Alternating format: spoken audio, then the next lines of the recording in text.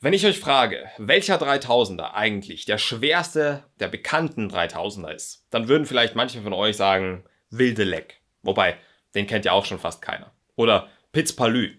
Aber kaum jemand hat da einen Berg fernab der Alpen am Schirm. Den Cerro Torre.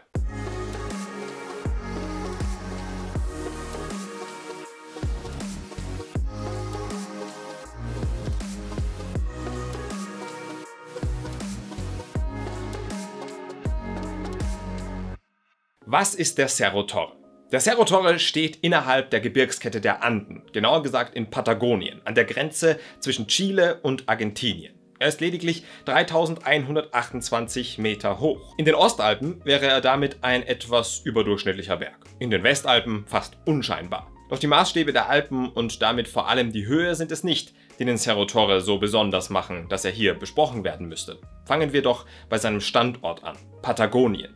Wie auch andere berühmte Berge wie der Aconcagua oder der Fitzroy steht er in Südamerika. Hier ist es, wie wir auch schon im Video zum Aconcagua gelernt haben, in erster Linie unfassbar schwierig, das Wetter zu prognostizieren. Und auf Bergen wie dem Aconcagua ist das zwar jedenfalls ärgerlich, aber auf dem Cerro Torre ist das umschwingende Wetter eine Gefahr und eine Schwierigkeit für sich. Denn der Cerro Torre zeichnet sich vor allem durch seine technische Schwierigkeit und durch seine schwere Zugänglichkeit aus. Ein Besteigungsversuch kann durch die Lage mehrere Tage dauern und das alles in ständiger Sorge, dass an einem Tag das Wetter dann doch noch umschlägt. Die großen Wetterfenster, die sucht man in Patagonien, gerade in dieser Gegend, wirklich nur vergeblich. Deshalb ist viel Geduld, Glück und auch das richtige Timing aller Schritte wahnsinnig wichtig. Gepaart mit der technischen Schwierigkeit ist der Cerro Torre natürlich die absolute Spitze des alpinistischen Eisbergs. Doch was heißt eigentlich technische Schwierigkeit? Das ist in Patagonien ganz allgemein, aber besonders am Cerro gar nicht so einfach zu sagen.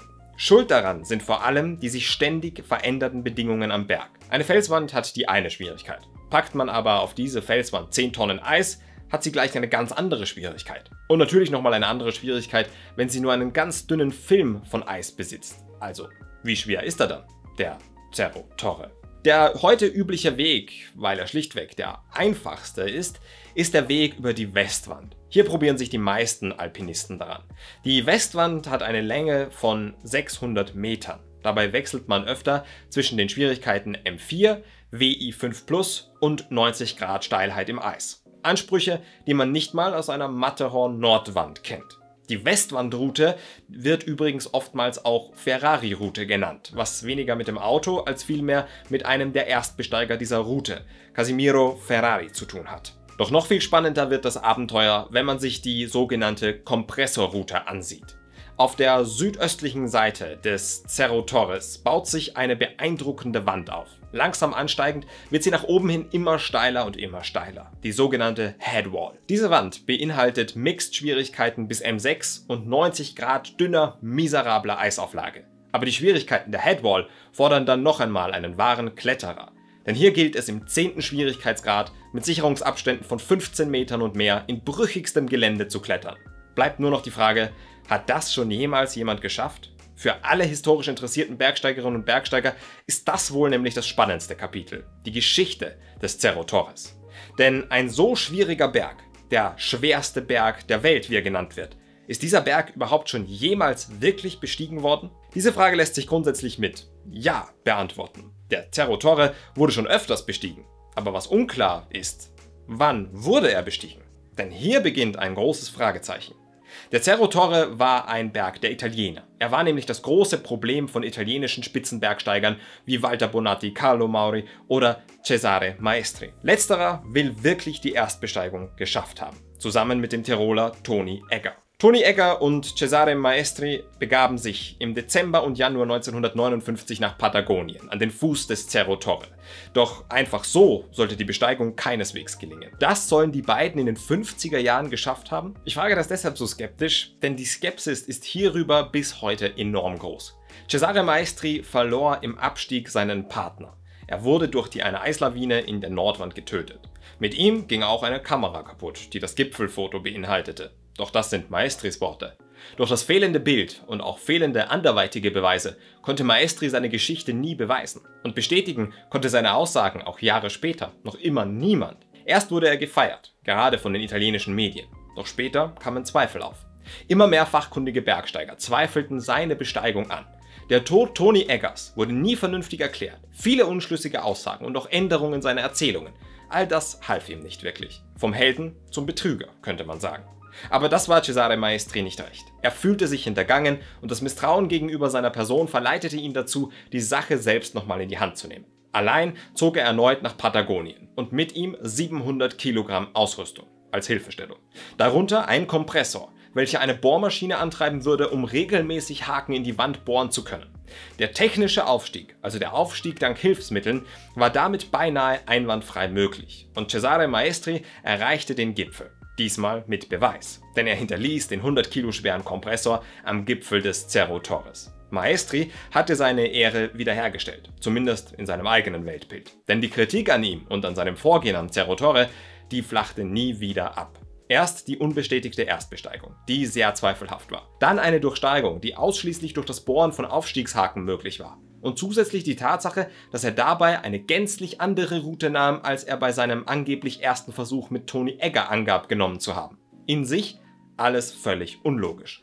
Und trotzdem können Kritiker auch nicht das Gegenteil beweisen. Niemand auf der Welt kann die Erstbesteigung des Cerro Torres valide datieren. Die Kritiker können nur anhand der Wahrscheinlichkeit für so eine Durchsteigung zu dieser Zeit argumentieren. Reinhold Messner beispielsweise ist sich sicher, dass diese Schwierigkeiten in den 50er Jahren völlig unmöglich waren.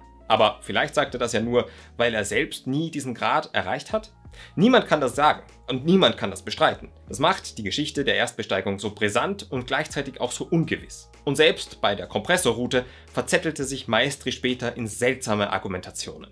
Denn zusammen mit seinen Partnern stand er zwar über der berüchtigten Headwall, aber den Gipfelpit Pilz, den Eispilz am Ende des felsigen Teils, also den höchsten Punkt, erreichte er nie mit dem Argument, dass das ohnehin nicht der Gipfel sei, da dieser Pilz bald nicht mehr existieren würde.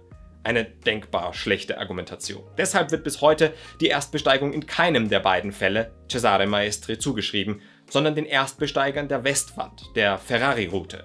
Das war erst am 13. Januar 1974. Eine extrem späte Erstbesteigung für einen so prominenten Berg. Und mit Maestri endete die Geschichte der spannenden Erfolge und Misserfolge am Torre nicht.